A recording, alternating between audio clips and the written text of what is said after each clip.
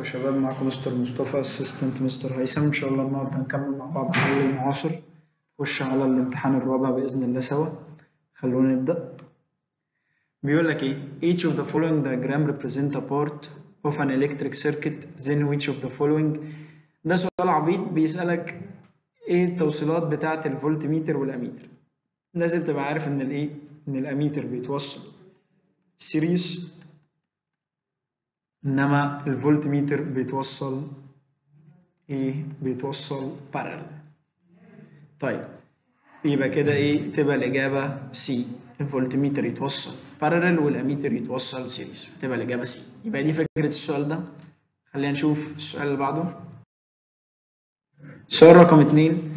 في ال military researches the design of the defense system for destroying the hostile missiles using laser beam depend on the property in the laser which is إيه بيعتمد على intensity و collimation مع بعض. ما collimation ده أحسن حاجة في الليزر إن هو ليه one direction عنده ال components بتاعت الليزر أو ال lasers photons كلها ورا بعض collimating يعني عندها بتمشي كلهم في one direction parallel straight line وال intensity بتاعتهم ما بيحصلهاش diffraction بتفضل نفس الخط اللي هي doesn't obey inverse square law فيبقى كده تدمير المدافع بتاعنا ال destroying بتاع ال hostiles missiles بيعتمد على ال intensity بتاعت الليزر وال collimation فدي لازم نخلي بالنا منها. طيب. شوف السؤال اللي بعده. بيقول لك an ideal transformer has a primary coil of number of turns NP and secondary coil number of turns NS if the input power بتاع ال transformer كان PW يبقى ال output بتاعك هيبقى إيه؟ هيبقى PW مفيش إن هنا قال لك ideal transformer يعني ال efficiency 100 يبقى ال power ال secondary قد ال power ال primary أنا جيت هنا سميت لك إن ال power بتاعك اسمه power primary سميته PW يبقى ال secondary هيبقى برضو PW عشان هي ideal فتبقى الإجابة دي طيب شوف السؤال بعده. نيجي لسؤال رقم أربعة. بيقول لك إيه سؤال رقم أربعة؟ بيقول لك the opposite graph represent the relation between the accumulative electric charge Q وعندك one of the plate عندك C1 وعندك C2 و potential difference V. عايز ال ratio between ال capacitance C1 على C2 طيب إيه القانون المستخدم؟ إن ال Q equal C في V. تمام؟ تمام. طب هو عايز السي يبقى السي equal Q على V. يبقى كده C1 عبارة عن Q1 على V1 و C2 عبارة عن Q2 على V2 طيب تعال نجيب C1 كده. C1 هتبقى عبارة عن إيه؟ 3 على 5 اهي خدت 3 خدت الخمسة. يبقى 3 على 5 دي كده C1 طيب C2 هتبقى عبارة عن إيه؟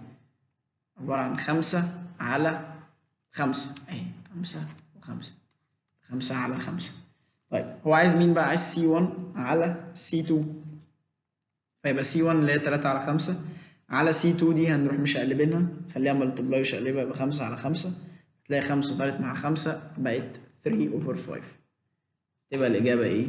C. طب واحد كان يقول لي 5 over 5 equal 1 فتبقى 3 over 5 على طول.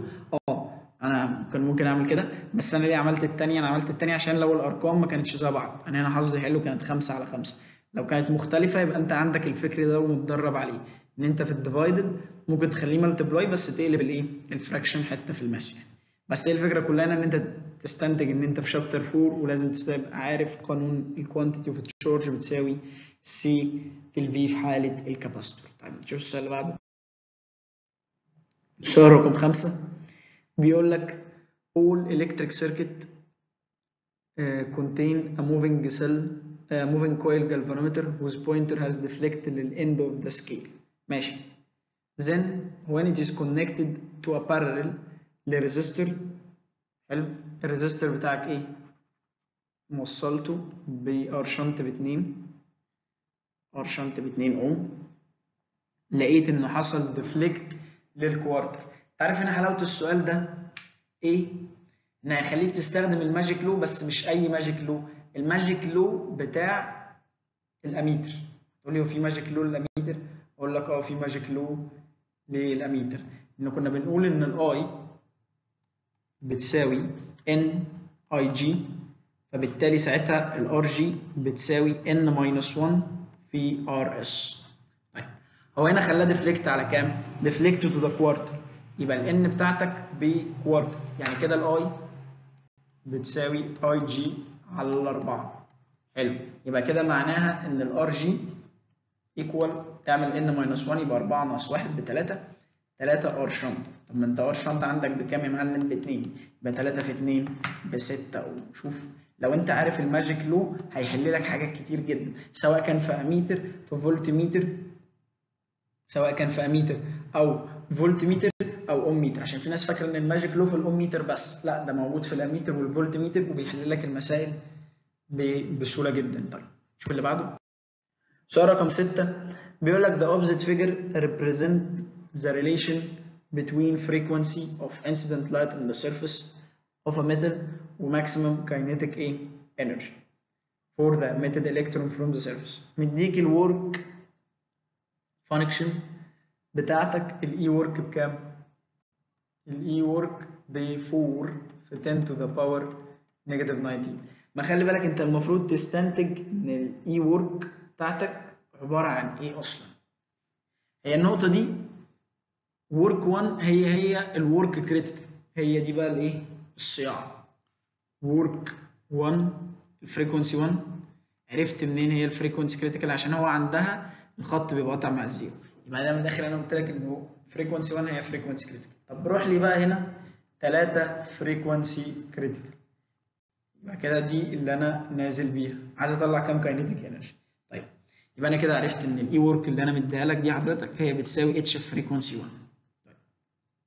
أنا عايز أجيب ال kinetic energy مش ال kinetic energy بتساوي ال incident ناقص ال work function ال energy incident ناقص ال work function طيب أنا معايا الايه؟ ال energy incident عبارة عن h في 3 frequency 1 ومعايا ال work function ب E work طب مش إحنا لسه قايلين لك إن frequency 1 دي ب frequency critical يعني أكن هنا معايا 3 h frequency critical يعني أنا ممكن أقول إن أنا معايا 3 work function ناقص work function تديك إيه؟ 2 work function يبقى دي kinetic energy يبقى ال kinetic energy بتاعتك يا معلم بتساوي 2 work function فأنت ببساطة كنت كل اللي هتعمله هتاخد الاثنين تضربها في 4 2 هتاخد ال 2 دي اللي هي في القانون دي اللي استنتجناها. تضربها في ال work function اللي هي 4 في 10 to the power negative 19 تروح مديها لك 8 تبقى الإجابة C فكرته صايعة جدا وحلوة جدا كمان. انت بس تستنتج تبقى عارف المعلومة إن النقطة دي دايما في ال curve إن النقطة دي أصلا بيبقى اسمها frequency critical. لو دي عارفها هي دي أصلا كانت مفتاح المسألة. طيب شوف اللي بعده. سؤال رقم سبعة. بيقول لك straight wire x and y is placed of a magnet in which of the shown direction هيتحرك when the wire move terminal بتاعت x عندها higher electric potential than terminal y طيب هو أنا عايز ال direction بتاع الحركة. ماشي. يبقى أنا أستخدم Fleming right hand rule معاك ال direction بتاع ال B من n إلى s. تمام؟ ومعاك ال current خلي بالك إن هو بيقول لك إن أنا عارف ال induced current بيمشي من ال low potential لل high potential يعني كده هو بيقول لك ال x هي العالية يبقى هو كان جاي من الواطي العالي من y ل x فيبقى كده من n ل s وال current ال current كده وال field من n ل s هتستخدم Fleming right hand rule Fleming right hand rule عندك البي من ان الاس والكرنت من واي لاكس فهتلاقي إن ال B بتاعت ال F بتاعتك نزلت لتحت اللي هو direction دي تلاقي إن ال force نزلت كده. تبقى ال direction دي تبقى الاجابه دي يبقى دي فكرة الايه السؤال ده خلينا نشوف السؤال اللي بعده. نيجي لسؤال رقم 8 معانا. بيقول لك إيه؟ سؤال رقم 8 بيقول لك in the opposite electric circuit the voltmeter reading إيه الفولتميتر اللي قدامك ده هيقرا إيه واحدة واحدة كده. تعال نشوف ال direction بتاع البطاريات. ال current طالع من هنا وال current طالع من هنا. فواضح جدا إن هم هيت إيه؟ هيتقابلوا. فطالما هيتقابلوا يبقى أنا ممكن أروح أجيب I total بتساوي VB 1 minus VB 2 اللي هي 18 ناقص 12 على مجموع ال R ات اللي هي 2 زائد 1 اللي هي كام؟ 2 أمبير. يبقى أنا كده جبت ال I total ب 2 أمبير. طب هو الفولت ميتر ده متركب على مين متركب على ال 18 أهو الفولت ميتر راكب على ال poles بتاعت ال 18 فيقرأ إيه؟ يقرأ في بي ماينس اي ار في بي ماينس اي ار يبقى عندك ال 18 ناقص 2 في 2 إحنا كده بتقول 18 ناقص 4 تمام؟ تديك 14 تبقى الإجابة إيه؟ في ناس هتفكر كده تمام؟ بالطريقتين شفت ال direction الموضوع سهل جدا. في ناس تفكر هتقول لك انت اشمعنى ركبت الفولت ميتر على 18 ما أنا ممكن أركب الفولت ميتر ده على 12 هقول لك قوي قوي عادي. بس الفكرة كلها تخلي بالك إن ال 12 دي بتتشحن. فهتقرأ VB plus IR عوض هتطلع لك نفس الناتج 12 زائد 2 في 2 هتوديك ل 14 برضه مش هي دي الأزمة. الفكرة كلها أصلا إن أنت توصل بس لنقطة إيه؟ إن أنت عندك بطاريتين عرفت إن واحدة بتشحن الثانية فتبدأ تستخدم Ohm's law for closed circuit ليهم. طيب شوف السؤال اللي بعده. نيجي للسؤال رقم 9 بيقول لك إيه؟ عندك two concentric circular coils are perpendicular to each other. ماشي؟ أدي two circular coils perpendicular to other. The first فيها 2 أمبير. أقول لك circular coil يبقى ال B بتاعتك اخلص منها. B equal monitor. تعال نروح نجيب واضح إن هو مديك كل حاجة ليه الاولاني تعال نروح نجيب B 1 عندك ال mu ب 4 pi 10 to the power negative 7 في number of turns 50 في ال current 2 على ال radius 12 أنا ما اشتغلش ب 12 يبقى 12 في 10 to the power negative 2 تعال نحسب دي سوا. يبقى 4 shift pi 10 to the power negative 7 في 50 في 2 على 2 في 12 في 10 to the power negative 2 تطلع لك 0.3 صفار 5 كده B 1 ببص على الدايرة التانية لقيته برضو مديني كل حاجة ليها فتعويض 4 pi 10 to the power negative 7 الكلام ده. Number of turns 100 الكرنت 5 تمام؟ والراديوس بخمسة يبقى 2 في 10 to the power negative 2 تعال نروح نحسب دي يبقى 4 باي في 10 to the power negative 7 المرة دي في 100 وفي 5 وتحت عندك 2 في 5 في 10 to the power negative 2 يطلع لك 0.006 تمام؟ ماشي. ده كان كده. 0.006 حلو. ده كده جبت B1 وجبت B2 طيب. آه هو ما جابش سيرة direction فهنروح جامعينهم ما جابش سيرة direction فنفرض إن هما نفس الايه ال direction فهعمل لهم plus اعمل الرقمين دول plus على ال calculator هيطلع لك 0.0067 اللي هي approximate يعني 0.006 تبقى الإجابة دي. طبعا في امتحان اخر السنة لو جه سؤال زي كده لازم يبقى موضح إن هم نفس ال direction ولا لأ. بس هو قال لك concentric to each other فاعتبر إن هم إيه؟ نفس الايه direction طيب شوف السؤال اللي بعده. سؤال رقم 10 بيقول لك if the radius of the first orbit مديك ال radius ب 0.5 انجشتر يبقى في 10 to the power negative 10 then the speed of the electron. عايز ال speed عايز السرعة. طيب أنا هنا ممكن أستخدم إيه؟ هو ده مديك ال radius بتاع ال first orbit. طب ما أنا هنا ممكن أقول إن 2 pi r equal n lambda. فأنت هنا عندك 2 في ال pi ال radius 0.53 في 10 to the power negative 10 ال n هو قال لك orbit واحد يبقى في لامدا. من هنا تجيب الإيه؟ لامدا يبقى 2 shift pi 0.53 في 10 to the power negative 10 الكلام ده بيساوي ال wavelength. فمن هنا تجيب لي ال wavelength. بتاعتك تقول لي هتستفيد إيه بال wavelength؟ أقول لك تعالى دلوقتي. 3.33 في 10 to the power negative 10 كده أنا جبت ال wavelength. بعد كده هو عايز ال velocity. مش أنت واخد إن ال wavelength دي بتساوي h على mv تمام؟ طيب. ما أنا معايا ال wavelength أهي. المفروض بتساوي h 6.625 في 10 to the power negative 3 34 على ال m اللي هي 9.1 في 10 to the power negative 34 آه 31 الكلام ده في ال velocity من هنا تجيب لي الإيه؟ من هنا تجيب لي ال velocity فنقولها تاني كده.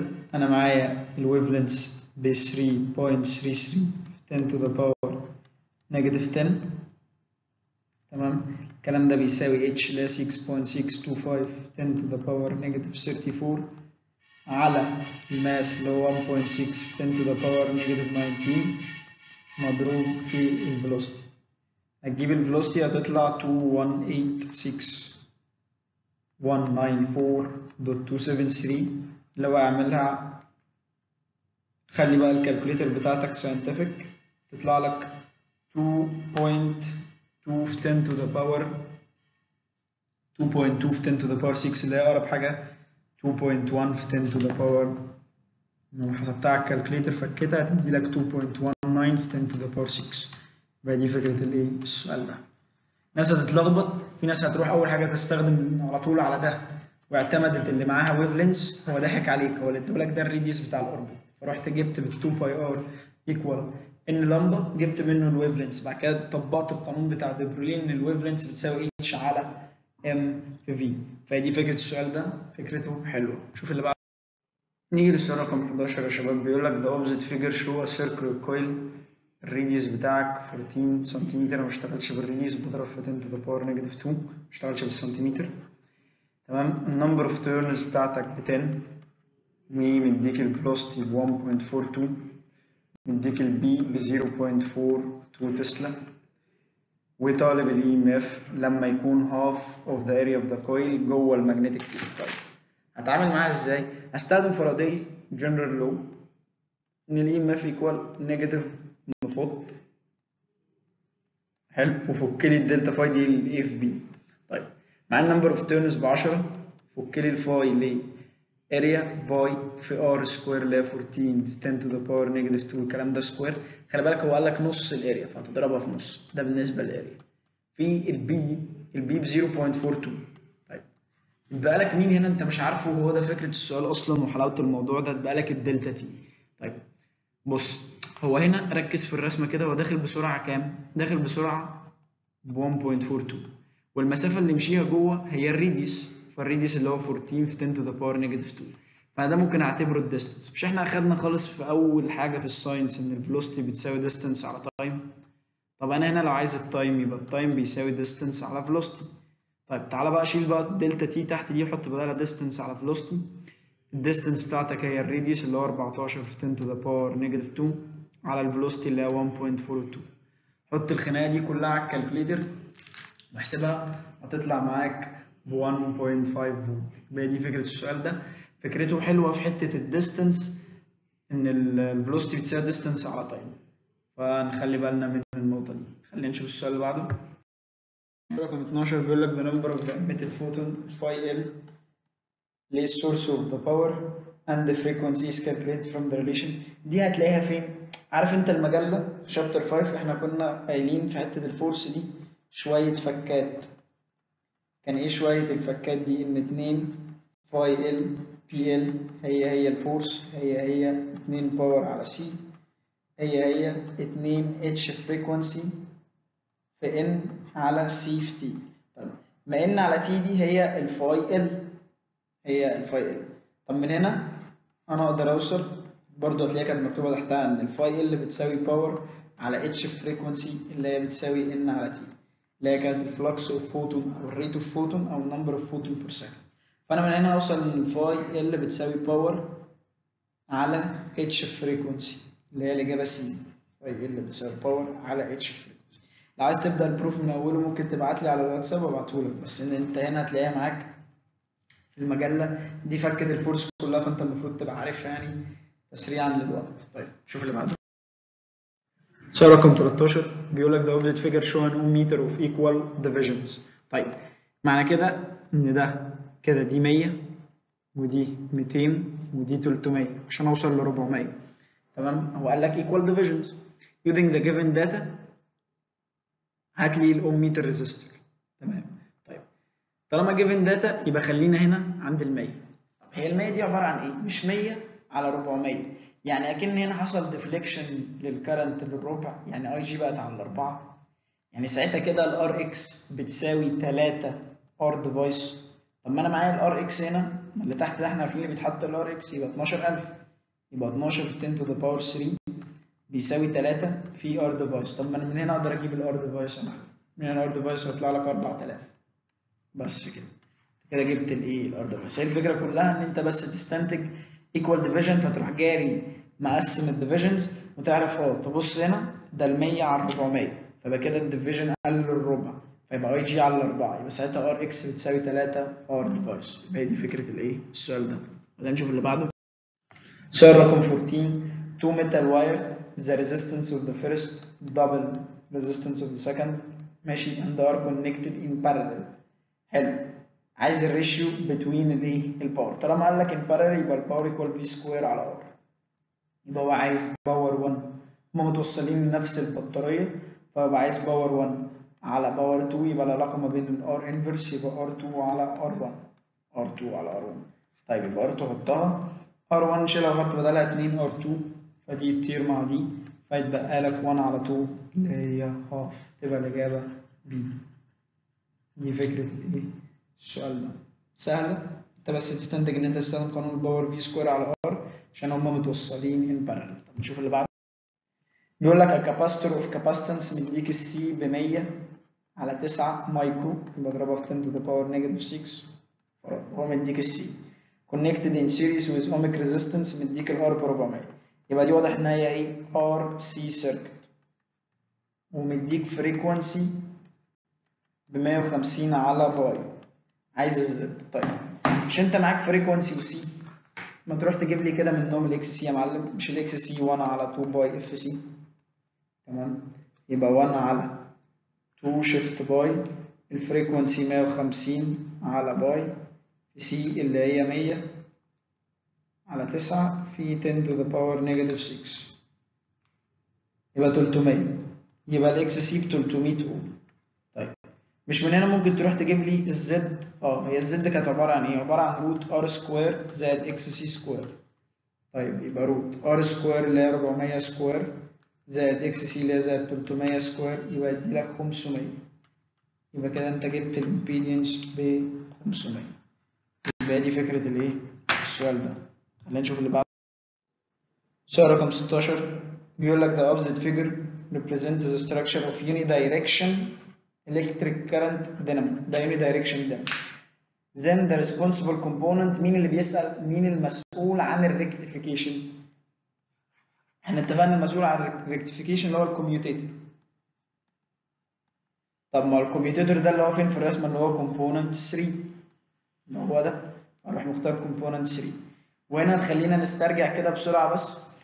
إزاي أحول من اي سي لدي سي إحنا قلنا بنحول عن طريق مرحلتين. أول حاجة ال rectification اللي هي باستخدام ال commutator ده عشان يحول من AC ل unidirection unidirection تاني حاجة عن طريق fixation process وال fixation process دي ال fixation process دي كنت بستخدم coils with a small angle between them عشان أحول من uni إلى DC يبقى دي فكرة الإيه؟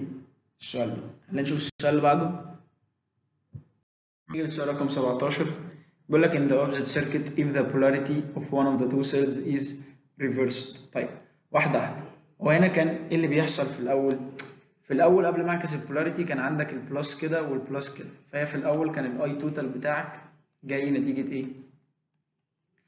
VB 1 minus VB 2 طيب بعد ما اعكس البولاريتي يعني خلي ده plus وده minus فساعتها كده ال plus هيبقوا في نفس الاتجاه. فساعتها كده I total هتبقى عبارة عن VB 1 plus VB 2 فاهم كده إيه اللي حصل؟ كانت في الأول minus كانت البطاريه بتشحن الثانية دلوقتي بقت plus بقوا البطاريتين بيقوموا ال circuit. فكده ال I total بتاعتك اللي هيحصل لها إنها هتزيد إن بدل ما كانت minus بقت إيه؟ plus عشان ال VB كده هتزيد يبقى كده ال I هتزيد. شوف اللي بعده.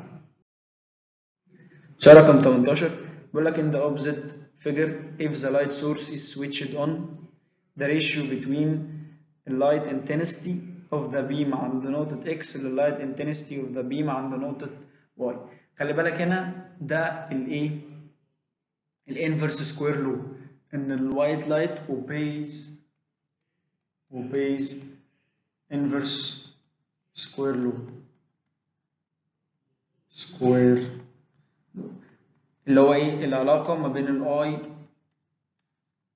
inverse مع الايه مع ال distance square طيب يعني إيه كده؟ يعني أنا عايز IX على IY يبقى بتساوي distance y square على distance x square.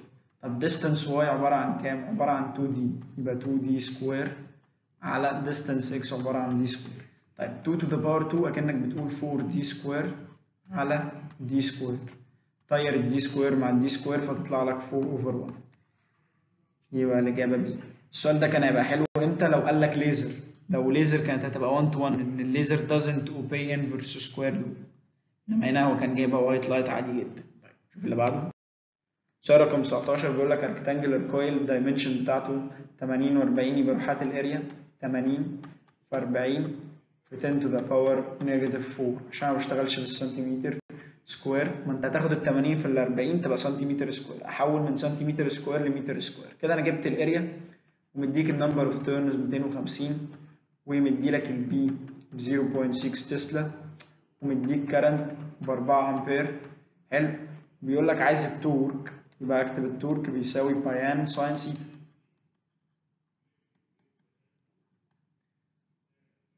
تمام. When the coil inclined by an angle الزاوية اللي ما بين ال coil وال field 60 طيب يبقى السيتا اللي أنا هستخدمها بكام؟ مش هاخدها ب 60 بقى هاخد 90 minus 60 لأن إحنا اتفقنا كل الزوايا ولاد ناس ما عدا زاويتين في المنهج بتاعت ال torque وبتاعت ال EMF induced تبقى ما بين ال perpendicular لل coil وال magnetic field فهنا هو ما قالش كلمة perpendicular فيبقى دي الزاوية الكدابة فاعمل 90 minus 60 تدي لك كام؟ تدي لك 30 طيب بعد كده ال torque ب 0.6 ال current بأربعة ال area ب 80 في 40 في 10 to the power negative 4 دي كده ال area number of turns 250 في sin 30 في sin إيه في sin 30 حط الخناقة دي كلها على ال calculator هتطلع معاك ب 96 نيوتن في متر. تبقى الإجابة C يبقى دي فكرة الإيه السؤال ده خلينا نشوف السؤال اللي بعده. نيجي سؤال رقم 20 بيقول لك which of the following represent the change in the electric current that pass through the electric bulb in the opposite circuit versus time? طيب. خلينا في ال positive. هنفرض الأول دايما لما تلاقي AC source مع حوار دايود يبقى افرض دايما positive بعد كده اعكس ال polarity طيب أدي ال positive ال current هيمشي كده بالمنظر ده. هيجي هنا. هيبقى عندك إيه بقى؟ هيبقى D 1 و D 4 D 1 هنا ده دي ال negative فده بقى backward تمام؟ و D 4 ده backward فساعتها ال current هيعدي من D 2 بعد كده اللمبه بعد كده إيه؟ D 3 تمام؟ يبقى كده ده في حالة الإيه؟ ال positive ماشي. يبقى كده ده معدي ال positive طب تعالى عد جرب تعدي القبة ال negative. القبة ال negative. يبقى كده القبة ال positive هتعدي. أنا دلوقتي هشوف القبة ال negative هتعدي ولا لأ. طيب. جرب تحط ال negative ساعتها D 2 و D 3 هما اللي مش هينوروا. D 2 و D 3 هما اللي مش هينوروا. ولكن D 1 و D 4 هما اللي هينوروا. فباختصار كده ال positive هيعدي وال negative هيعدي. بس ال negative كده يعتبر طالما عدى كهرباء يبقى كده هيتحول positive فيبقى كده انت عندك. يبقى انت عرفت القبة بال positive هتعدي. هي كان السؤال هل القبة ال negative هتعدي ولا هتبقى zero فهي عدت بال value بتاعتها. فكده بقى عندك positive و positive و positive و positive فكده بقى إيه؟ كده بقى full wave rectification اللي هي B تمام؟ خلي بالك انت ممكن في ناس تحلها في ثلاث ثواني تقول لك آه ده ده متوصلين توصيلة ال bridge. دي انت لو دخلت كلية scientific ان شاء الله هتعرف ان الدايود ممكن استخدمه إن أنا أعمل full wave rectification مش half wave rectification زي ما أنا خدت في ثانوية عامة. لا ممكن استخدمه في ال full wave rectification عن طريق إن أنا أوصله بالتوصيلة اللي قدامك دي اللي هي توصيلة ال bridge. فدي تعتبر ده لو عندك المعلومة دي هتروح حله على طول في ثلاث ثواني وتختار ال curve لو مش عندك يبقى اعمل عدي ال positive شوف هيعدي إزاي وعدي ال negative وشوف هيعدي إزاي فكده ال bulb هيفضل فيها ال same direction في كل ال half cycle بس كده شوف اللي بعده بيقول لك in the opposite figure a metallic rod penetrate perpendicularly magnetic flux line with speed v downward so an induced electromotive force is generated between terminals if another rod of same dimension but higher resistivity made of material higher resistivity get moved with the same V in the same direction of the first. إيه اللي هيحصل لل induced هي بتاعت ال wire بتساوي EMF equal BLV يا شباب طيب. دلوقتي هو ماشي بنفس ال velocity وبنفس ال direction ومحطوط جوه نفس ال field وهو هو نفس الطول وخلي بالك L دي هي الطول المتاثر بال field يعني الطول هيفضل زي ما هو الجزء ده متأثر بال field فبالتالي كده معلش أنت محطوط في نفس ال magnetic field فال B ثابته وعندك نفس ال velocity هو قال لك نفس ال velocity والطول اللي بيتأثر بال field هو نفس الطول. فبالتالي ال EMF هتفضل زي ما هي ملهاش علاقة بال resistivity جبت لي material ثانية جبت لي material طالما أنا ما غيرتش في ولا حاجة من ال parameters بتاعة القانون مفيش حاجة هتأثر فيا. هتبقى remains constant مش هتتغير. طيب خلينا نشوف السؤال اللي بعده. السؤال رقم 22 بيقول لك two capacitance C1 and C2 are connected in series. يبقى انت عندك اتنين capacitance بالمنظر ده متوصلين in إيه؟ in series ادي C 1 وادي C 2 in series with battery هو قايل لك إيه؟ C 1 أكبر من من إيه؟ من C 2 حلو. Then the relationship between مين ومين؟ بيسأل على relationship between the electric potential of one. علاقة V1 أكبر؟ V1 مالها ب V2 بيسأل V1 مالها ب V2 طيب. مش هما متوصلين series أنا عارف في قانون إن ال Q equal C في V. طيب. هما متوصلين in series يعني ال Q constant فبالتالي العلاقة ما بين ال C وال V inverse يعني أنا قلت لك C1 أكبر من C2 يبقى V1 أقل من V2 عشان العلاقة ما بينهم إيه inverse فكده هتختار الاختيار رقم B إن V1 أقل من إيه V2 يبقى دي فكرة السؤال ده بس إن أنت تبقى عارف ال capacitors لما يتوصلوا in series أول حاجة تبقى عارف القانون بتاع ال capacitor اللي هو ال Q equal CV تمام؟ وإن في السيريس الكيو كونستانت والسي والفي إيه inverse نشوف اللي بعده. سؤال رقم 23 بيقول لك if the multiplier resistance in the voltmeter is 9 time قال لك ال VM equal uh, sorry ال RM ده multiplier بيساوي 9 9 times R galvanometer. طيب where VG هي ال potential difference تمام. طيب ما ده معناه إيه؟ عارف هنا هنستخدم ال magic law. يعني كده n minus 1 كانت equal 9 يعني كده n كانت 10 يبقى بالراجع يبقى ساعتها ال v equal 10 VG ده اللي هو ال magic لو خلي بالك. إحنا اتفقنا إن في ثلاثة magic لو مش واحد بس. في واحد للأميتر وفي واحد للأوميتر وفي واحد للفولتميتر. كان قانون الفولتميتر إن V بتساوي n VG يبقى ساعتها كده ال Rm تساوي n minus واحد اي RG ده كان القانون. فهنا هختار 10 VG وتبقى الإجابة إيه يبقى دي فكرة السؤال ده نشوف اللي بعده. نيجي سؤال رقم 24 من الأسئلة الحلوة. بيقول لك ده opposite graph lambda واحد هي ال shortest wavelength لل visible و lambda اتنين هي ال longest wavelength لل visible طب ما هو ال graph ده كده يبقى ده إيه؟ يبقى كده ال radiation أغلبها بتطلع في الإيه؟ في ال في ال في ال visible تمام؟ طيب يبقى كده ال graph ده ممكن ي present مين؟ ممكن ي present ال sun أو أي star. أنت عارف بس اللخبطة هنا إن كان يقول لك ال sun بدل ال luminous star فأنا هنا هختار ال luminous star إنها زي زي ال sun طب ليه ما ينفعش ال Earth؟ إن ال Earth أغلب ال radiation فيها في ال infrared وال tungsten bulb 80% فيها في ال infrared وال human body بيطلع ال radiation بتاعته في ال IR إنما ال sun ال radiation بيبقى فيها نسبة كبيرة في ال visible يبقى دي أعلى واحدة فيهم إيه؟ يعني ال luminous star ال luminous star هي هي إيه؟ ال sun فهي دي فكره الايه السؤال ده. فكرته حلوة. شوف اللي بعده. بيقول لك the opposite figure. عندك electric transformer عندك ال efficiency يبقى مديك ال eta على جنب. ب 0.96 بيقول لك ال power ال power بتاع ال secondary 36 وات حلو.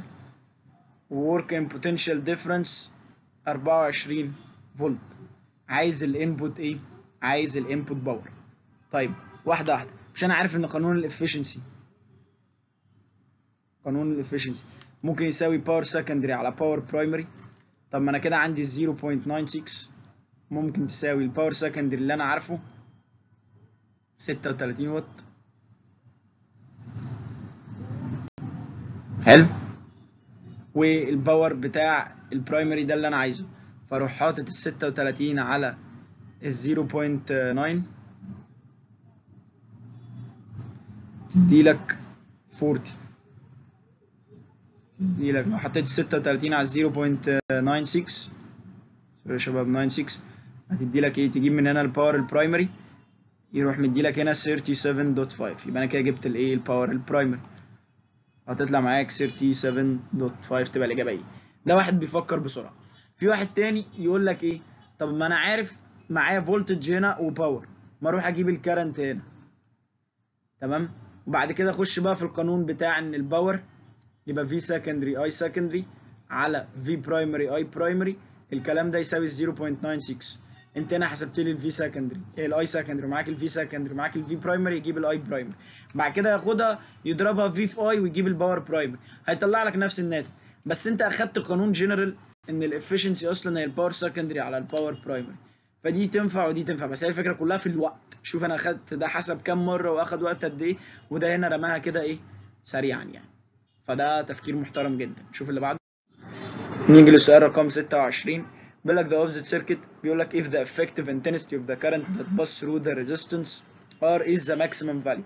خلي بالك لو عديت الجملة دي كده رحنا في ده.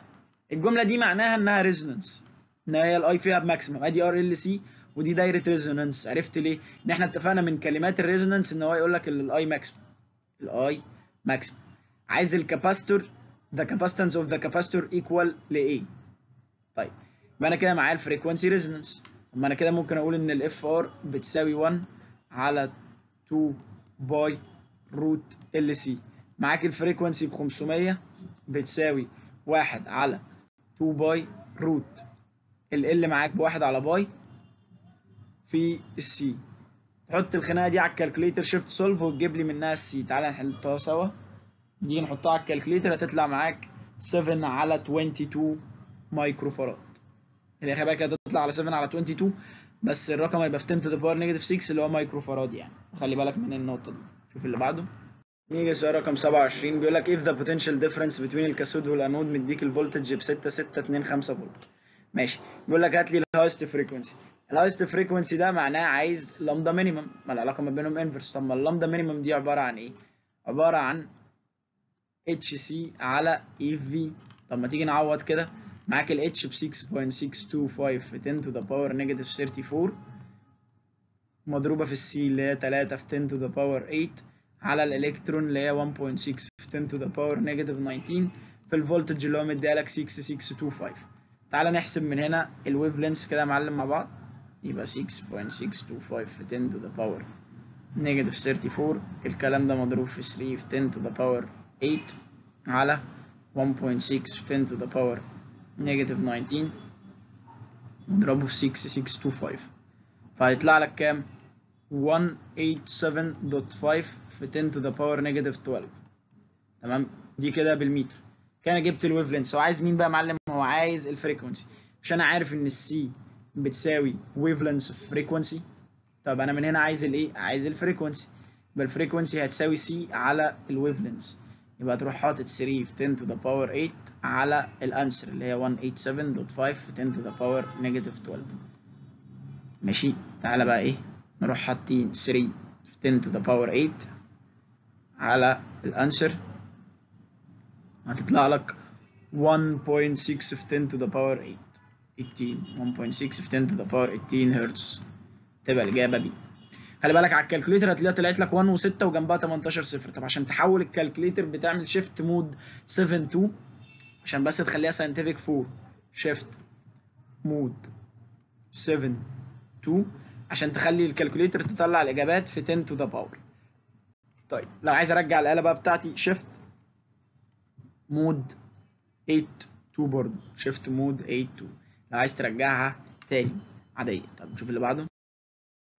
سؤال رقم 28 بيقول لك in the opposite circuit عايز ال intensity اللي معدية خلال البطارية. طيب واحدة واحدة. اول current هيمشي كده. ماشي. واقف عند النقطة دي. هيتقسم branch كده و branch كده. هتيجي هتلاقي إن ال branch ده كمان وقف هنا. آه لقينا فيه سلكة فاضية. يبقى تعالى نعمل pointing مش هنخسر حاجة. ال pointing دي سميها 1 والنقطة دي سميها 2 حلو. دي سلكه فاضية تتسمى 2 ودي عدى على resistance اسمها 3 كده ال pointing بتاعك صح جدا. ليه ال pointing بتاعك صح؟ عشان أكبر رقم ناحية ال negative وال resistance كلها متعرفة. فأنت عندك من 1 ل 2 في 5 من 1 ل 2 في 5 ومن 1 ل 2 تحت في 5 كمان. في 5 كمان. عندك بقى من 2 ل 3 في 5 ومن 2 ل 3 في 5 طب من هنا تقدر تجيب الشكل ده R total آه 5 parallel مع 5 ب 2 ونص. و5 parallel مع 5 ب 2 ونص. 2 ونص زائد 2 ونص دي 5 يبقى ال R total بتاعتك بخمسة. طب هو عايز ال I total نعوض في Ohm's law for closed circuit I total بتساوي V B اللي هي ب 12 ونص على 5 زائد إيه؟ ما تنساش الايه ال internal resistance 1.25 نحط دي على calculator فتحط 12.5 على 5 زائد 1.25 هتطلع لك ب 2 أمبير وتبقى الإجابة دي 2 أمبير. بس الفكرة كلها إن أنت تستنتج إن أنا هشتغل pointing طب ليه أشتغل pointing عشان لقيت سلكه فاضيه طالما لقيت في سلكه فاضيه وأنا بحسب R total يبقى أروح أجيب إيه؟ pointing method أسرع حاجة ليا. طب نشوف اللي بعده. سؤال رقم 29 بيقول لك أنا RLC circuit مكونة من AC source that at a certain frequency عند frequency معينة ال inductive reactance of the coil ال inductive reactance دي اللي هي ال X L ب 36 اوم whereas its ohmic ohmic resistance? ما عندوش ال coil ده ما عندوش ohmic resistance. وال capacitive reactance مديك ال X C ب 30 ماشي. و ohmic resistance ومديلك R ب 8 اوم ماشي. مديك ال effective voltage مديك ال V total ب 20 هو هنا عايز الايه عايز ال V L طب ما ال V L هتبقى عبارة عن إيه يا شباب؟ عبارة عن I في X L طب هل أنا معايا ال I لا. طيب تعال نروح نجيب ال I ببساطة. ال I بتساوي إيه؟ ال I total بتساوي V total على ال R total اللي هي في حالتي دي ال Z طيب أنا معايا ال V total ب 20 وهل أنا معايا ال Z أقدر أحسبها؟ آه. ما أنت واخد إن ال Z في ال RLC بتبقى عبارة عن R square زائد X L ناقص X C square طيب تعالى بقى إيه؟ نعوض. يبقى هنا عندك حط ال R ب 8 square زائد X L اللي هي ب 36 ناقص كام؟ X C اللي هي ب 30 ما تنساش تعمل الكلام ده square أكن عندك كده كام؟ 8 square وهنا 6 square يعني يديلك 10 20 على 10 يبقى ال current بتاعك ب 2 امبير ال current بتاعك ب 2 امبير أو احسبها على ال calculator عادي. وبعد كده 2 في ال X L اللي هي 36 تمام؟ ف2 في 36 بتطلع لك ب 72 يبقى 72 فولت. بس. يبقى الفكرة كلها إن أنت تشوف هو عايز إيه. هو عايز ال potential بتاع ال V L ما هو أي potential في الدنيا I في R بس إحنا ناس كبيرة وعارفة إن ال coil ملهوش R ال coil ليه X L فقلتها I في X L خلي دايما عندك الفكر ده. شوف اللي بعده. سؤال رقم 30 بيقول لك the opposite graph represent the relation between ال I during the half cycle. تمام؟ عايز ال effective value. عايز ال effective value. طيب ماشي. هي ال I effective عبارة عن إيه؟ عبارة عن I maximum في sin ال 45 صح؟ طيب ما أنا هنا مديك ال I maximum ب 8 يبقى ممكن أقول 8 في sine 45 فتعالى نحسب على ال calculator كده 8 في sine 45 تطلع معاك 5.6 6 امبير بس كده. شوف هو اداك graph ولخبطك والكلام ده كله بس إحنا اتفقنا إن في مدرسة كده إن ال emf زيها زي ال I زيها زي ال magnetic flux عندهم maximum و effective و average وعادي جدا ما تلخبطش. أنا ما احتجتش من ال graph ده حرفيا غير ال I بتاعت ال maximum عشان أعوض في قانون إن ال I effective بيساوي I maximum sine الايه ال 45 طيب نشوف اللي بعده. سؤال رقم 31 بيقول لك in the opposite circuit if the reading of the voltmeter zero. طيب معنى إن الفولتميتر يقرأ zero طب ما هو الفولتميتر ده بيقرا إيه؟ اي في ار في ايكوال IR حلو. أنا عشان اخليه يقرا zero يبقى مفيش current هيعدي في ال circuit. يعني اكن هنا عايز حاجة تفتح لي الدايرة. طب أنا لو عايز حاجة تفتح لي الدايرة يبقى أنا كده بفكر في دايود طيب ويفتح لي الدايرة الدايرة يبقى متوصل backward ما أنا عارف ان الدايود اما يتوصل backward backward بيبقى act as إيه open key open key طب ما هو في الرسمة اللي قدامك ده ده ال key close يبقى هنا لازم أحط حاجة تتوصل backward يعني كده يبقى ال positive اهو متوصل هنا مع عصاية negative وهنا مع عصاية positive بالمنظر ده. يبقى أنا عايز ال component بتاعي هنا يبقى دايود متوصل reverse bias أو backward bias عشان يمنع ال current فتبقى الإجابة دي. يبقى دي فكرة السؤال ده. خلينا نشوف السؤال اللي بعده. السؤال رقم 32 بيقول لك هو أنا motor coil start its rotation from the instant at which بادئ parallel يبقى هو موتور بيبدأ parallel then the value which decrease gradually لغاية ما يوصل perpendicular. هو بادئ parallel هيوصل perpendicular. يبقى إيه الحاجة اللي بتقل؟ يبقى ال torque. يبقى كده الإجابة ال torque. طيب واحدة واحدة. هو هنا الفكرة كلها لازم أبعد عن حاجات اللي changeable flux طيب يبقى كده الحاجة الوحيدة اللي هتتأثر أو هتقل هي ال torque. طب أنا كده عرفت الإجابة الصح. عايز أعرف طب ما تيجي ندردش مع بعض كده نفهم ليه الباقي غلط. طيب B ال magnetic force that act on the longitudinal side. في معلومة كده المستر قالها لك قال لك إن ال magnetic force اللي act on the longitudinal side أصلا always maximum. وحلينا عليها أسئلة. تمام؟ هي دايما maximum سواء هو حصل لف يعني هو أصلا ال side كان بادئ عليه maximum لف اللفة هيفضل maximum وهيفضل يقطع flux طيب فكده B ما تنفعنيش. طب نيجي عند C ال magnetic flux density affecting the coil دي مالهاش دعوة بحركة ال coil ال magnetic flux density ده بيبقى ال field ال properties بتاعه ال field اللي ماشية من ال N لل S تبقى معتمدة على ال magnet. طيب فدي C ما تنفعش. طيب ليه magnetic dipole moment ما ينفعش. ال magnetic dipole moment أصلا ما فيهوش علاقة بالزاوية. magnetic dipole moment بتساوي IAN. وهنا التغير اللي حاصل كان متغير في سيتا تمام؟ فهي دي فكرة الايه السؤال ده. خلي بالنا إن فكرته خبيثة شوية. طيب نشوف اللي بعده. سؤال رقم 33 بيقول لك four electric capacitors are connected together. If the total capacitance مديك ال C total ب 40 micro farad هات لي ال C طيب واحدة واحدة. خلينا نخلص من البعيد دول. دول متوصلين in series صح؟ ال 120 وال 120 دول اعملهم معاملة ال parallel فممكن أشيلهم وأحط بدلهم capacitor ب 60 النص على طول. طيب يبقى كده شلتهم وحطيت capacitor ب 60 وهنا في 20 وادي كده ال capacitance C دي وأنا بقول لك إن ال C total عند النقطتين دول أنا مديك ال C total هنا ب 40 وعايزك تجيب لي ال C أعتقد كده بقت سهله طب ما هنا ال 60 وال 20 متوصلين parallel أعملهم معاملة الايه يا معلم أعملهم معاملة ال series هو بيسأل يعني بيختبرك هنا تبقى عارف حتة إن في ال C ال parallel series وال series إيه parallel فال 20 parallel مع ال 20 parallel مع ال 60 بعملهم معاملة ال series يبقى أنا ممكن أشيلهم وأحط بدلهم capacitor 80 يبقى 80 micro farad متوصل series مع capacitor C. وأنا جيت قلت لك هنا إن ال C total بتاعتك بتاعتك بكام؟ ب 40 فمعنى كده إن ال capacitors دول دول متوصلين series هعملهم معاملة ال parallel يبقى 80 في C على 80 زائد C الكلام ده يديك 40 طب من هنا تجيب ال C هتطلع معاك ال C ب 80 micro farad بس كده تبقى الإجابة C. عادية مش صعبة. هي بس لازم تكون شاطر في الحتة دي عشان يجي عليها سؤال في ال final إن شاء الله. تلاقي حتة إن في ال C بعامل ال parallel series وال series إيه parallel طب نشوف اللي بعده. بيقول لك the opposite figure. If the magnetic flux density عايز ال magnetic flux density عند الايه عند ال center طيب ده coil ف B بتاعته equal ميو NI على 2R طيب هي القصة كلها هنا في إيه بقى. أول حاجة ال number of turns هاخد إيه؟ سيتا على 360 number of turns بتاعتك هتاخد الايه عشان تجيب ال N theta على 360 فهتحط السيتا زاوية القطع إيه؟ يبقى 60 على 360 وتجيب لي منها الايه ال number of turns دي أول تركاية يبقى 60 على 360 هتطلع لك 1 على 6 يبقى كده خلصت من ال number of turns طيب. تاني تركاية ال radius بس خلي بالك إن هو بالسنتيمتر. طب هنا نيجي نعوض ال B بتاعتك هو مديها لك ب 4 π في 10 to the power negative 7 ال number of turns بتاعتك 1 على 6 ال current هو مديهولك في الرسمة ب 48 على ال 11 أهو.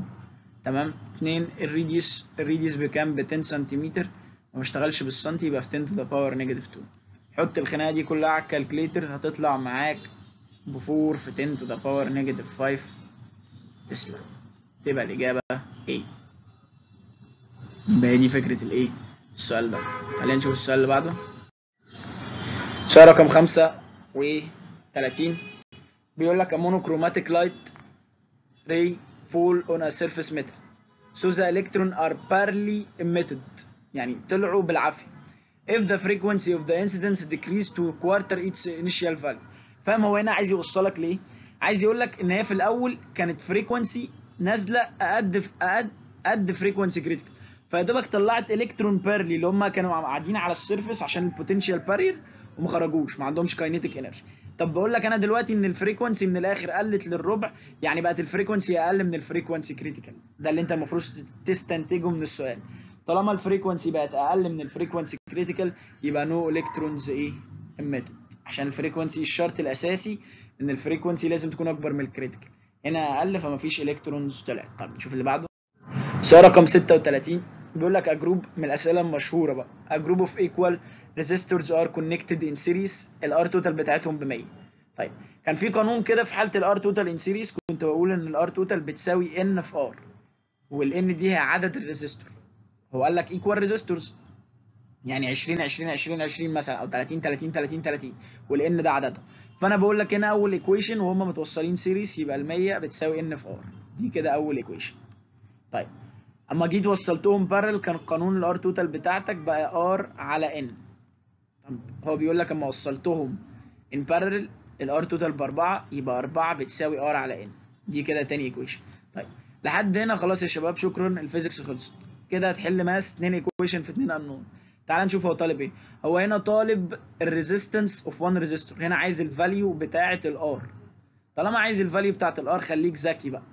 يبقى تعالى من هنا قول إن ال N بتساوي 100 على R عشان تروح تعوض بيها في equation 2 انزل بقى عوض في equation 2 يبقى الاربعه بتساوي R شيل ال N وحط لي بدلها 100 على R تحت اللي تحت هيطلع فوق. بص من اول هنا ممكن ترميها shift solve على ال calculator المصاريح معاك اهو وهتطلع ال R ب 20 عايز تحسب شوية math؟ عادي مفيش مشكلة. تحت اللي تحت هيطلع فوق وتبقى R square يبقى R square على 100 تمام؟ ال 100 تروح الناحية الثانية بال multiply يبقى 400 يبقى R square بتساوي 400 وادي root للكلام ده تطلع لك ال R ب 20 تطلع لك ال R ب 20 فانت ممكن تعملها shift solve أسهل وأسرع. طيب شوف اللي بعده. سؤال رقم 37 الحاجات اللي انت لازم تبقى عارف عن ان ال helium neon laser ال beam بتاعته بتطلع فين؟ بتطلع في ال visible light region. دي واخدينها وإحنا في chapter الليزر chapter 7 ان ال helium neon laser بيطلع في ال visible light. تمام؟ طيب نشوف اللي بعده. سؤال رقم 38 بيقول لك the opposite figure عندك wire of H is placed perpendicular to the plane of the page.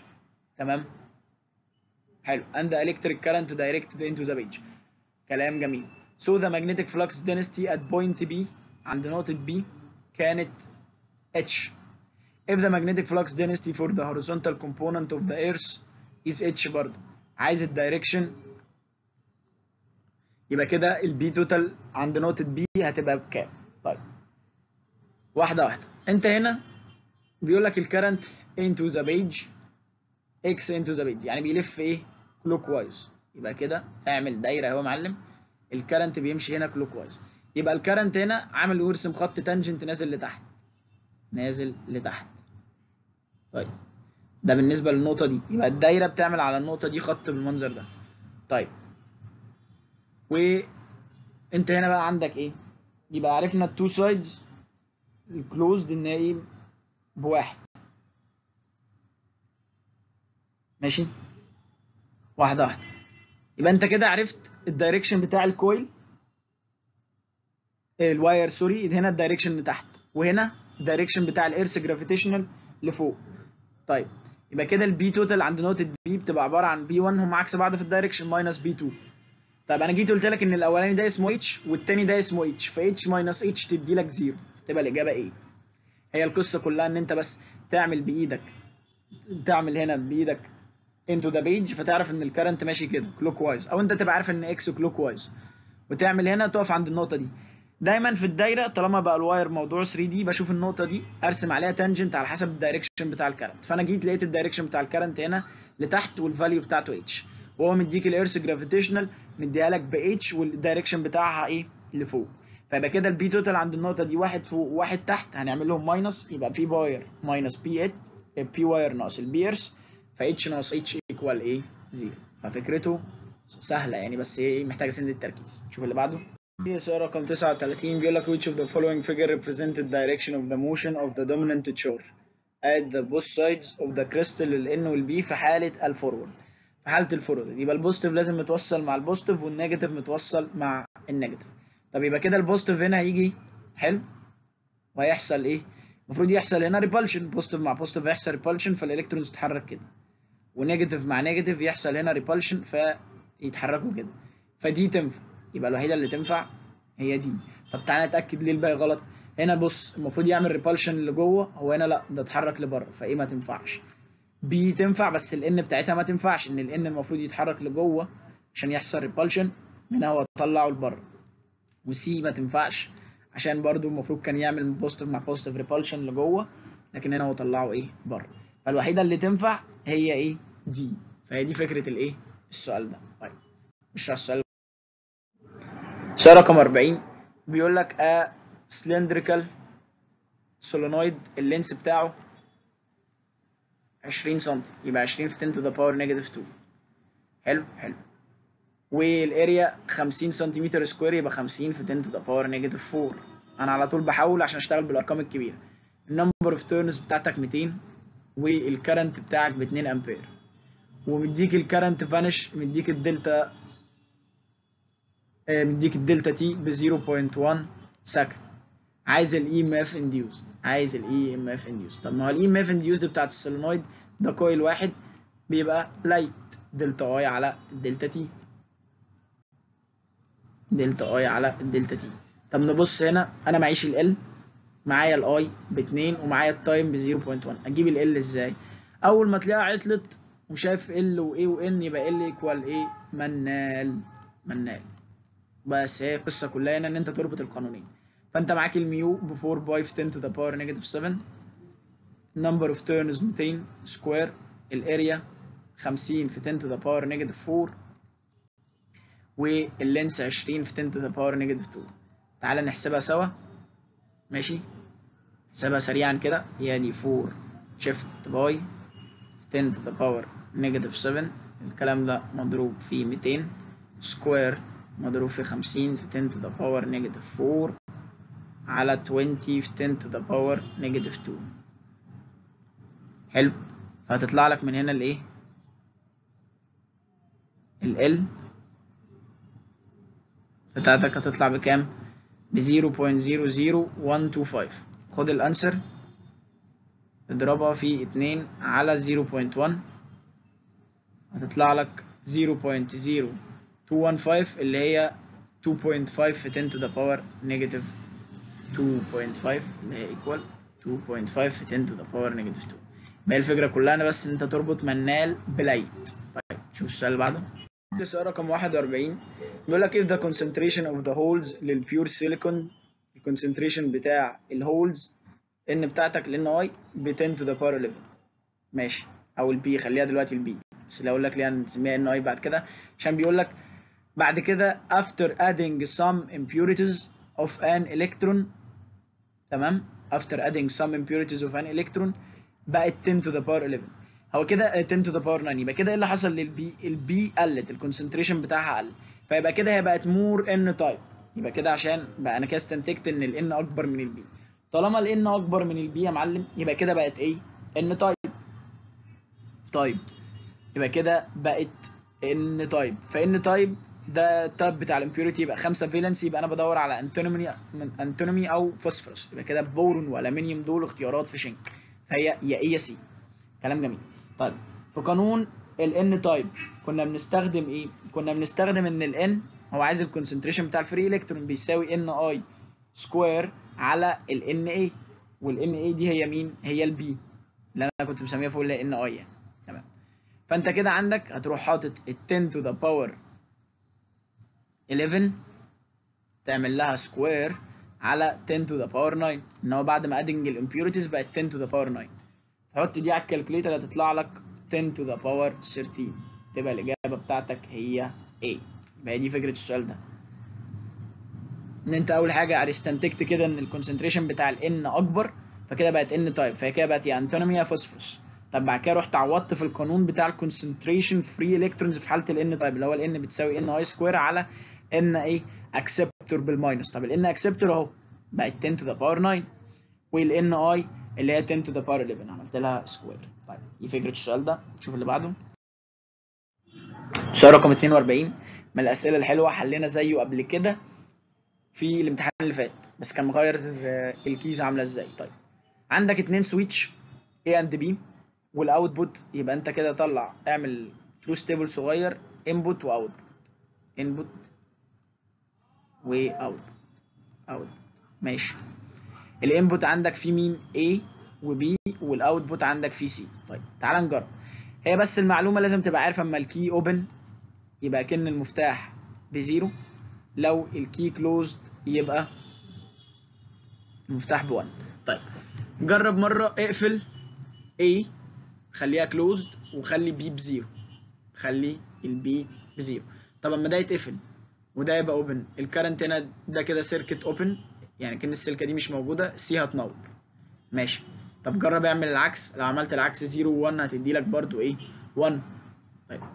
لو جربنا نقفل الاثنين 1 و1 إيه اللي هيحصل؟ لو قفلت ال two keys دول دي هتبقى سلكه فاضية فال C مش هتنور. طب لو خليتها 0 و0 لو كانت 0 و0 لو فتحت المفتاحين current هيعدي في ال C عادي لكن السلكة دي مش موجودة فهتدي لك 1 شوف بقى خلاص ارمي ال circuit في الزبالة وشوف مين في الرسومات دي تحقق لي ال truth table ده. طيب. انت هنا بتقعد تجرب. بس تعالى كده نشوف مثلا مع بعض تعالى نشوف C و A. تعالى نشوف C الأول. دخل لي مثلا 1 و 0 1 و 0 عند AND تدي لك 0 بس الزيرو دي هتعدي على NOT فتحولها لواحد يبقى كده أول سطر متحقق. طيب. تاني سطر برضو نفس الفكرة 0 1 هتدي لك 0 بعد كده الزيرو دي تحول NOT فتاني سطر متحقق. طيب. تالت سطر دخل 1 و 1 1 و 1 AND كده هتطلع لك 1 بس NOT هتحولها لزيرو ففعلا كده اتحقق برضو طب تعالى نأكد الأخيرة. 0 و 0 هيطلع لك 0 بس NOT هتحول الزيرو ل 1 فحظي حلو من الأول. C طلعت إيه؟ نافعة معايا. طيب. ممكن تجرب حاجات تانية هتلاقيها فشلت. يعني مثلا تعالى نجرب دي المفروض الباقي كده كله غلط. تعالى نجرب دي 1 و 0 لو دخلت 1 و 0 OR هتطلع 1 وبعد كده ال 1 دي NOT هتحولها ل 0 كده ما حققتش أول واحدة. فكده دي دي برضه. طيب. A دخل A ب 1 و B ب 0 فكده دي ال 1 دي هتتحول ل 0 وال B 0 هتتحول ل 1 AND داخل لها 0 و 1 تطلع 0 فبرضه ما حققتش. يبقى كده إيه ما حققتش. بس يبقى هو الموضوع زي البازل. هي الفكرة كلها بس إن أنت تحول الرسمه ال given قدامك دي لل truth table. عرفت تحول القصة دي هتلاقي الموضوع بقى عبيط جدا. طب نشوف اللي بعده. سؤال رقم 43 بيقول لك in which of the following figure the potential across ال 4 ohm is equal ل 4 فولت مين في دول؟ ال 4 اوم داخل لها 4 فولت طيب هنقعد نحسب I في R يا جماعة. فالموضوع عبيط. تعالى نبدأ مثلا ب C هنا 2 في 3 دي كده 6 فولت. ودي كده 12 فولت فكده دي ما تنفعش. أنا عايز حاجة ال 4 أوم يكون عندها 4 فولت. طيب هنا دي 24 فولت 6 في 4 فكده دي بره. هنا التلاتة هيتقسموا إيه؟ التلاتة يتقسموا واحد تحت واتنين فوق ال resistance الصغيرة تاخد current كبير. طيب ما كده أربعة في واحد بأربعة فولت. كده أنا حققت الشرط. واتنين في اتنين بأربعة فولت. يبقى كده الإجابة B. كده الأربعة أهو أهي أكلت أربعة فولت. بس كده. هنا أنا عملت current divider قصة ال current divider تعالى ندردش مع بعض كده.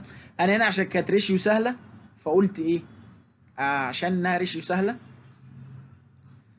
فقسمتها 2 لواحد. طب لو كانت صعبة شوية ساعتها نبدأ نعمل current divider إيه قصة ال current divider عشان في ناس كتير بتلخبط فيه فهناخده بالمرة معانا في السؤال ده. يبقى هنا التلاتة. أنا عايز 2 اوم هنا وهنا 4 اوم. طيب. أنا عايز ال current اللي في ال 4 اوم. طب ما هو ال I في ال 4 اوم. نستخدم القانون بتاع ال current divider. بيبقى عبارة عن إيه؟ تاخد ال I total اللي هي التلاتة في ال resistance ال opposite لل 4 اوم. مين ال opposite لل 4 اوم؟ الاثنين ماشي. على مجموع ال two resistance اللي هي 2 و4 يبقى 4 زائد 2 طيب. لو تعالى نعملها تاني لو عايزها في الاثنين اوم. لو عايزها في الاثنين اوم يبقى ساعتها هاخد ال I total أضربها في ال resistance ال opposite مين ال resistance opposite للاثنين اوم هي الاربعه على مجموع ال resistance اللي هو 2 زائد 4 ده لو عايز أعمل current divider لو أنا مش عارف الايه ال ratios يعني. طيب شوف اللي بعده. نيجي سؤال رقم 44 من الأسئلة الحلوة اللي فيها فكرة بسيطة. تمام؟ هيخليك هنا تستخدم Compton effect وأينشتاين لو الاثنين فدي حلاوتها. بيقول لك assuming the scattered photon in the Compton effect. يبقى المسألة هنا جزءها Compton effect. طيب. إيه قوانين ال Compton effect مش عارف H frequency زائد 0 بيساوي H frequency dash زائد ال kinetic energy طيب. تعال نطبق على الحتة دي. طيب. هو هنا ال kinetic energy بكام؟ ال incidence كانت ب frequency حلو. وال scattered كانت ب 0.9 frequency زائد ال kinetic energy فأنا من هنا ممكن أجيب ال kinetic energy هديها الناحية الثانية بال minus تمام؟ فهيطلع لك كده ال kinetic energy ب 0.1 0.1 بعد كده عرفت إن ال kinetic energy اللي جاية عن طريق ال X ب 0.1 طيب ده كده جزء كومبت طب واحدة واحدة. خد بقى ال scattered دي نازل لقيتها نازلة على metallic surface of work function 0.4 طيب يبقى كده لازم نروح نستخدم أينشتاين. ما ال E incidence بتساوي E work زائد kinetic energy طب أنت كده معاك ال incidence ب 0.9 وأنا مديك ال E work ب 0.4 زائد ال kinetic energy طب من هنا أجيب ال 0. أجيب ال kinetic energy ب 0.5 kinetic energy ب 0.5 هتقول لي طب ال H ات وال frequency ما خلي بالك إن هما ال H frequency هنا هتطير مع ال H frequency هنا فبقت الأرقام 0.9 و 0.4 طيب يبقى كده عرفت ال kinetic energy ب 0.5 ده اللي جاية نتيجة Y طب هو عايز بقى مين؟ Y عايز X على Y فهتحط ال 0.1 على ال 0.5 فهتطلع لك 1 over 5 دي فكرة الايه؟ السؤال ده فكرته حلوة. طيب شوف اللي بعده. نيجي لسؤال رقم 45 بيقول لك a conducting wire which is reshaped as in the object figure is placed in the plane of the page in uniform magnetic field محطوط في field جوه into the page. بيقول لك if the intensity of the magnetic flux زادت. طب هو كده الاي زادت؟ وطالما الاي زادت مش كده يبقى ال flux زاد؟ يبقى كده بيتكون إيه؟ بيتكون backward طيب بيتكون باكورد اي ام اف باكورد اي ام اف ده مع الأصلي ولا ضد الأصلي؟ ضد الأصلي. طب يعني إيه؟ الأصلي هنا كان إيه؟ كان X ات. يبقى هنا ده ضده يبقى يعمل dot. يبقى هنا هيعمل dot وهنا هيعمل dot. يبقى كده أنا عرفت ال field. طيب مين اللي هيمشي كلمته؟ مش في نفس الوقت أنا عارف إن ال EMF direct مع ال area صح؟ يعني اللي عنده area كبيرة هو اللي هيفرض كلمته أو هو اللي هيفرض سيطرته وهيفرض ال direction بتاع ال current فأنا كده مش هشتغل على ال triangle الصغير ده. يبقى كده أنا هنا معايا إيه بقى؟ يبقى أنا كده اللي هيمشي كلمته الحتة دي. طب الحتة دي ال current فيها بيمشي إزاي؟ إحنا اتفقنا خلاص بيمشي dot و dot دي يعني anticlockwise طيب anticlockwise يعني من D إلى C عكس عقارب الساعة من D إلى C كمل بقى مع اللفة من D إلى C ومن B إلى A عشان يبقى عكس عقارب الساعة. يبقى الإجابة الصح تبقى من B إلى A ومن D إلى C ففكرته حلوة إن هو خلاك تفكر في حتة ال backward وال forward مع بعض وخلاك تفكر في حتة ال EMF والايه وال area طيب شوف اللي بعده. نيجي للسؤال رقم 46 بيقول لك metallic rod ال weight بتاعه مديك ال F ب 1 نيوتن. Is placed horizontally parallel to the surface of the earth in the plane of the page. The resistivity of the rod مديك ال resistivity equal لل area هو هنا magnetic flux density ال B بتاعتك ب 0.2 0.2 is applied perpendicularly into the page the rod is balanced under the effect of both magnetic force acting and its weight عايز ال potential difference طيب طالما هنا أنا كل اللي أنا عارفه ان equal BIL كلام جميل هو عايز مين عايز V في نفس الوقت عارف إن الفي ايكوال اي في ار طب هل أنا معايا ال I لا. طب وهل أنا معايا ال R برضه لا. طب ما تيجي نستغل الموضوع ده. أنا هنا قلت لك ال F بواحد وال B ب 0.2 تمام؟ وال I أنا مش عارفها وال L أنا مش عارفها. طيب ما تخليك كده ذكي تعالى نوقف ال I لوحدها. أنا عايز I من هنا. أنا كل F equal BIL دي معمولة ليه؟ عشان أجيب منها I واعوض بيها هنا. كلام جميل. طب ما تيجي توقف لي ال I لوحدها. يبقى ساعتها كده ال I هتساوي ودي 0.2 L الناحية الثانية بال divided يبقى 1 على 0.2 L يعني ممكن أقول 5 على L ده كده الكلام. هي فيها سنة math بس مقبولة. ماشي يبقى كده ده ال I طب مش أنا عارف إن في ايكوال اي في ار ماشي. طب ما تعالى كده عند ال R. مش أنا عارف إن ال R بتساوي resistivity length على area شوف أنا اديتك ال given إيه بقى؟ إن ال resistivity قد ال area resistivity قد ال area يعني دي هتطير مع دي. يبقى ال R بتساوي L ال R كده equal L شوف ده الاستنتاج الثاني من معلومة إن ال resistivity equal area خلاص كده يا معلم. تعالى نعوض. يبقى ال I كانت 5 على L وال R عبارة عن L طير L مع L يبقى ال V هتطلع لك ب 5 فولت. مفيش أحلى من كده.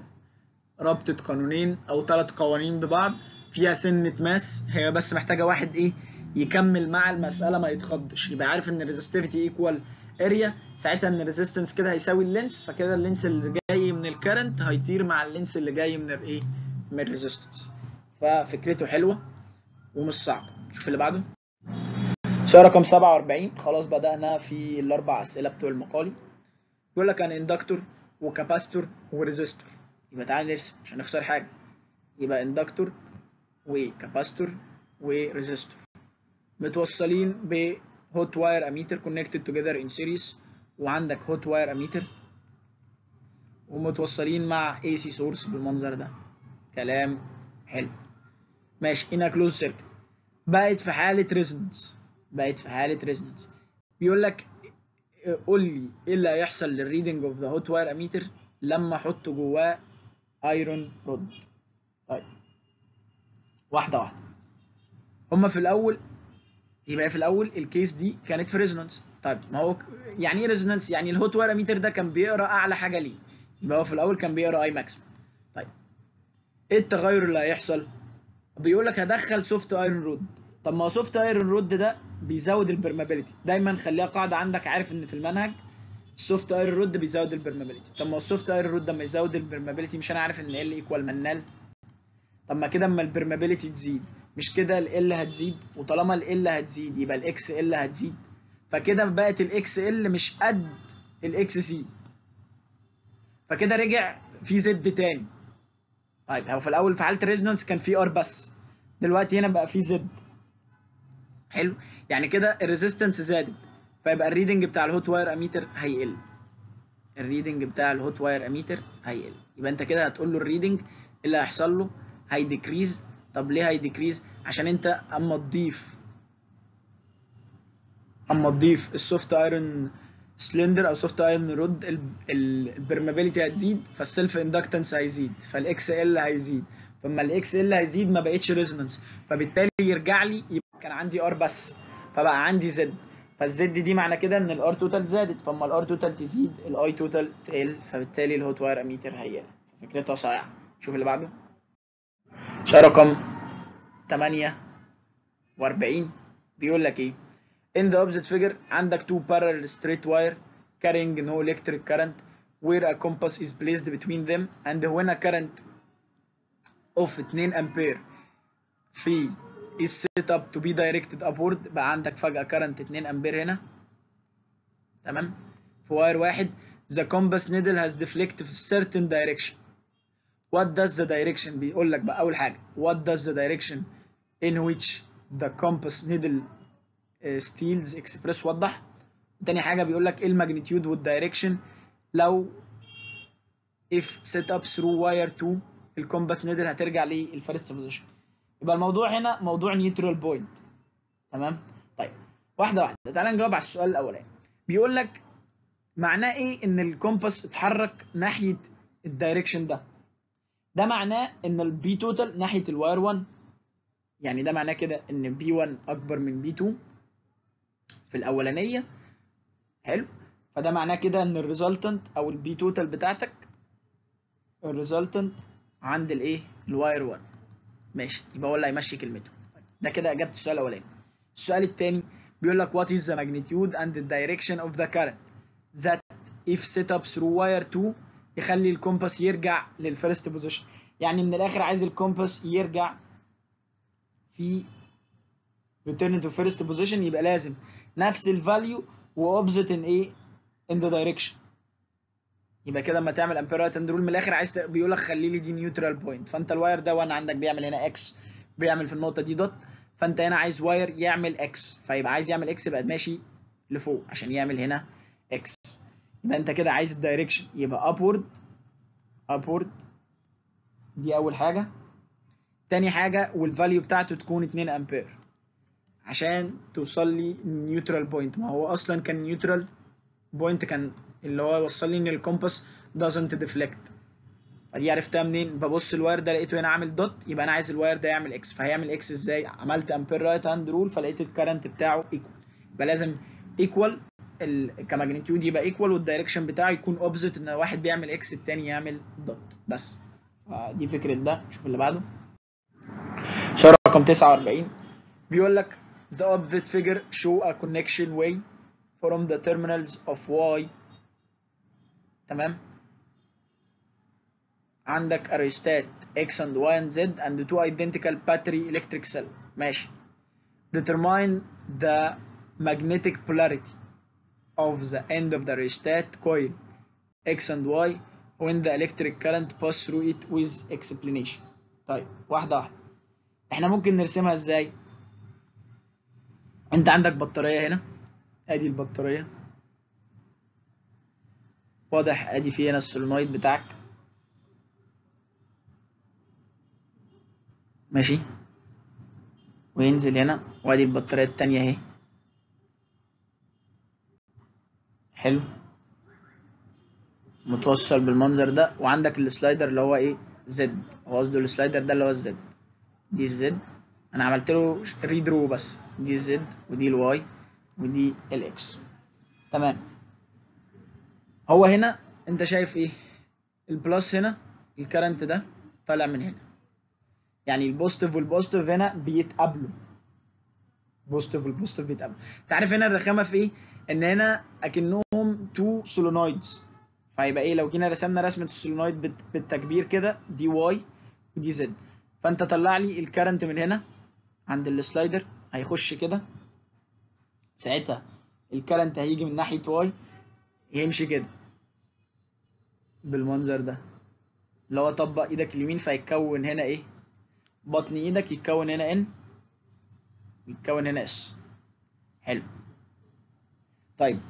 ولو جاي من ناحية إكس فالكرنت هيجي يمشي العكس. هتلاقي يتكون هنا اسهم لفوق يتكون هنا يتكون لاسهم لفوق. فيبقى كده تعالى بس نرسم ال solenoid موضحينه أكتر. ماشي؟ وادي ال solenoids وادي نقطة Y وادي نقطة إيه؟ X. يبقى إحنا اتفقنا من ناحية Y هتمشي مع البطارية من ناحية Y فهتلاقي ال current داخل لها من هنا بالمنظر ده كده. فأما تطبق هتلاقي بطن إيدك يتكون عند النقطة دي N ويتكون عند النقطة دي S S اللي هي clockwise طيب لو جيت مشيت من البطارية التانية ساعتها ال current هيمشي كده ويدخل ويبقى هنا طالع. الناحية دي طالع. بتحط بطن إيدك هتلاقي هنا اتكون N وهنا اتكون S برضه. يبقى كده عند X و Y بيتكون polarity S بتتكون S وال S دي معناها clockwise clockwise يبقى الفكرة كلها بس تخلي بالك من الرسم. طبعا حاجة زي كده صعب إنها تيجي أو عشان فيها فكرة direction ومحدش هيجي في دماغه إن الاثنين آه يكونوا S في ناس هتقول لك طالما واحدة كونت N الثانية تكون S عشان كده هو أصلا عاكس الإيه؟ حاطط لك polarities بطارية هنا وبطارية هنا. فنخلي بالنا من إيه؟ من النقطة دي. شوف السؤال اللي بعده. نيجي لآخر سؤال معانا في الامتحان ده. بيقول لك إيه؟ بيقول لك the opposite figure عندك Coolidge tube explain briefly how the electric energy in the Coolidge tube is converted. إزاي ال electric بتتحول ل electromagnetic اللي هو من الآخر هتشرح له إزاي بتشتغل. طيب أنت هتقول له إيه؟ ال electric energy بتدخل في ال filament ال filament دي بتتحول ل thermal. حلو. فهتطلع electron. ال electron دي عندها kinetic energy اتفقنا بقى. وبسبب الفرق ما بين ال target وال filament هيحصل collision تمام؟ فهيحصل collision إن هو ال electrons هتطلع من هنا هتخبط في ال electrons بتاعت ال outermost energy level بتاعت ال target material فهيحصل ما بينهم collision فلما يحصل بينهم collision هيبدأ يطلع نتيجة ال collision ده يبدأ يطلع radiation اللي هي ال electromagnetic بس كده. أنت هتقول الكلام اللي أنا قلته ده بس بشوية إنجليزي بقى أنت تعرفه. بس هو الموضوع بسيط. هتقول إن ال electric energy دخلت في ال filament اتحولت ل thermal فال thermal ده هيخلي فيه electrons تطلع من ال filament وبسبب ال potential ما بين ال target وال filament هيحصل إيه؟ ال electrons اللي هتطلع دي ب kinetic energy هتخبط في ال electrons بتاعة ال target فيحصل ما بينهم إيه؟ repulsion عايز بقى تبقى جامد تقول له حتة ال line X-ray وحتة ال continuous X-ray. تمام؟ إن في ال line واحدة هتعمل replace إنما في ال continuous بتفضل تدخل لغاية ما سرعتها تقل. ممكن تزودها عادي مفيش مشكلة. فنتيجة بقى ال collision دي بيحصل radiation ال radiation دي هي مين؟ ال radiation بتاعتك هي ال electromagnetic يبقى أنت كده حولت من electrical ل electromagnetic يبقى دي فكرة الايه السؤال ده كده يا شباب نكون خلصنا الامتحان الرابع. يا رب تكونوا بتستفادوا بالفيديوهات دي. أي حد عنده أي مشكلة يبعت لي على الواتساب. وشكرا ليكم وأشوفكم في الامتحان اللي جاي.